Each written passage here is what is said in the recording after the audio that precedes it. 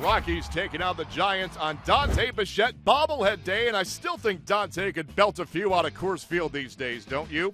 Pick it up in the bottom of the first.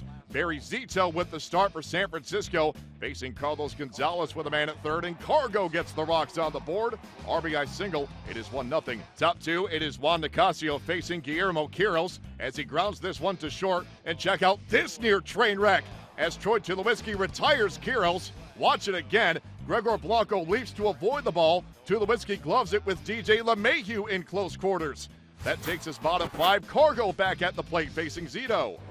And Cargo lines his ball toward right center field, and it's going to touch down off the wall.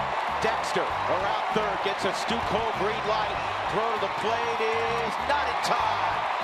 Cargo makes it 2 0. But the Rockies not done there. Two batters later, it's Gonzalez now at second for Jordan Pacheco as he comes through with an RBI single. It scores Gonzalez, and the Rockies have a 3 0 lead. That takes us top six. Nicasio facing Brandon Belt, second and third, two men away. Belt with the swing and a miss.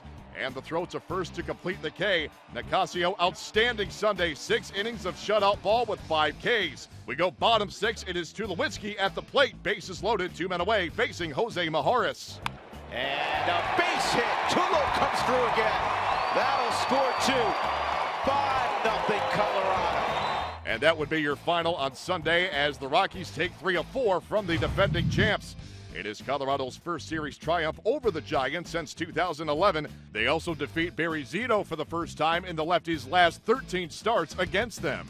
Angel Pagan left this game in the fifth due to flu like symptoms, and he was replaced by Andres Torres.